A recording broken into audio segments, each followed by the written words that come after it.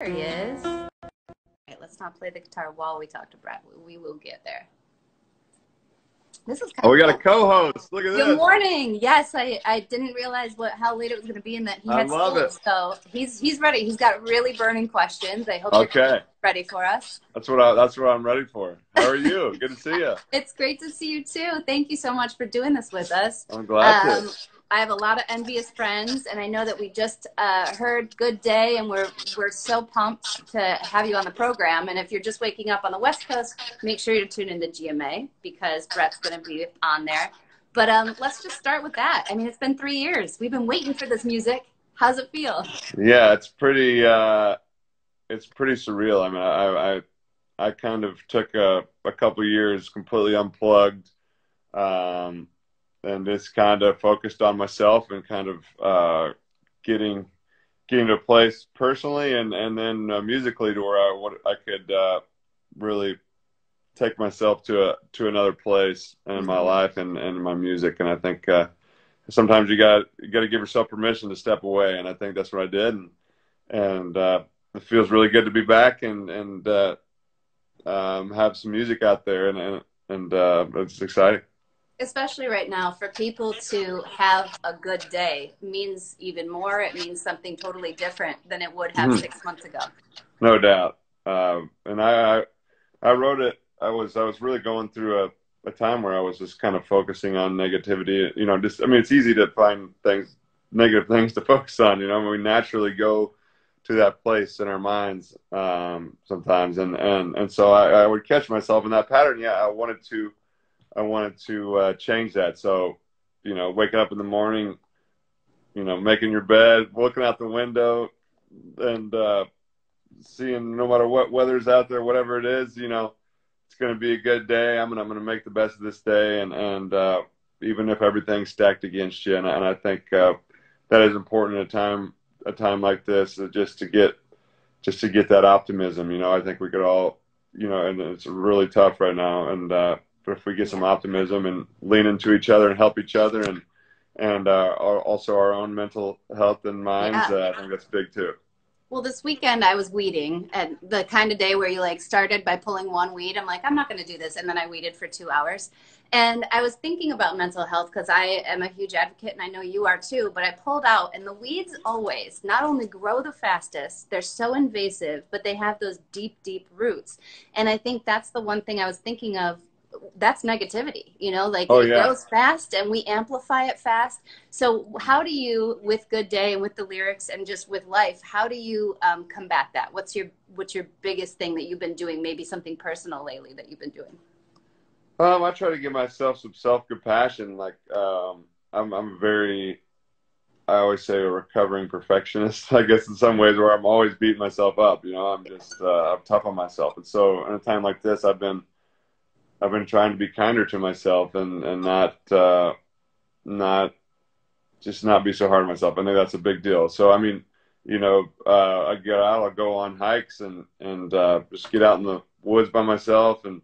and uh, take some time for myself, and then uh, and then connect with with uh, family and friends and people I care about. Call them up on the phone, even when it feels like it's uh, uh, easier to sit on your couch and watch a movie or something. I think a lot of the time when you when you you, you do what's not comfortable, um, it'll make you feel a lot better every time. You know what I mean? So I think those kind of things have been things to make my my my bad days good days, or or you know just the the tougher days a good day is uh is connecting with others and connecting with myself by by getting outside and and uh and um and also meditating i'm big into that Yeah. too so that's what we've been doing too. And rec- it's funny you say recovering perfectionist. I like that a lot because even at his age he's four and we talk about not being perfect all the time right?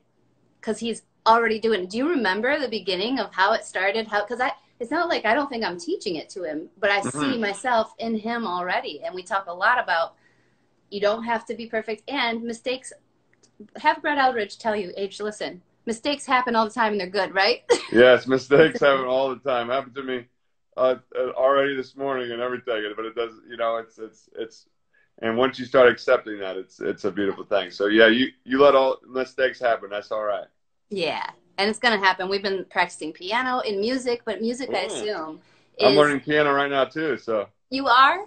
yeah, Oh, that's, that's what I've been. That's my other quarantine thing I've been doing. Is I've been at the start of quarantine. I wanted to learn something that I haven't, or focus on something that I haven't been able to, or or given myself the time to, and and that was piano. I play guitar all the time, but piano is something that I've always wanted to play. So I started playing and practicing, and every night before I go to bed, and uh, it's like a routine for me. You know, I, Nice. I play piano and I learn like an extra little part of the song or whatever, and then I'll then I'll write.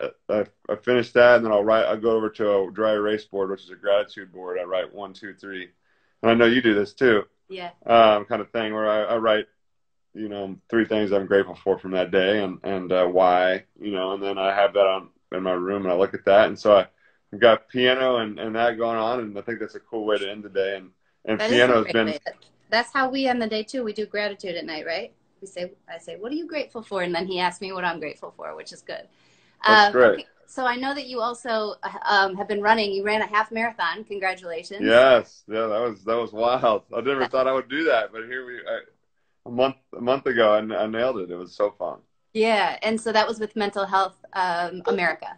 Yes, yeah. Great. So I was I, at the at the beginning of this whole thing and the, the lockdown and everything. I said, you know, I'm going to try to find something to lean into the resilience because I, you know, I I, I knew that it, it would bring out some anxiety in me and and and, Mhm. and all of us really, and I knew it was going to be a tough time for a lot of people, and myself included. And I and so I said, I'm gonna I'm gonna try to find some resilience. I'm gonna when those tough Good. things start, you know, crawling in my mind and and uh, the bullies in my mind start showing up. Those voices, you know, the the thought voices, you know, the um, I'm gonna I'm gonna find something to lean into that and and become bigger than you know, and that's where running came into place. I was Mhm. I probably ran five miles max at, up to that point. I work work out all the time. I'm very active, but I was never a Yeah. distance A runner. runner.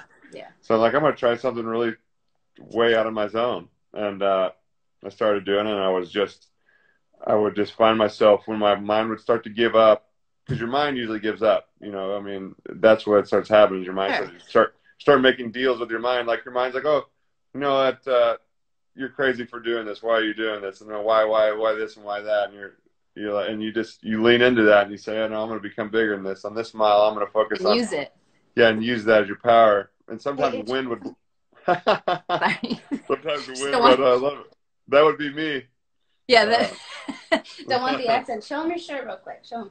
He, put his music shirt on for you. Oh, too. So sweet! yeah, Is that a banjo and a guitar? it's got everything. Man, you're Well- cool. Brett, thank you so much. I am so grateful that we got a chance to do this talk, and I know that you did uh, five things that help you out. People can check out on GMA's site. They can also go get Good Day, go get this new album, Yes. go go check everything out. We are so grateful again for the time with you. We should say we're grateful for Brett tonight, huh? That'll be one of our things. All right, keep playing that piano and have fun. Thank you so much. Enjoy the rest of your day. Thanks again You for being with us. All right. Good talk to you. We'll see ya.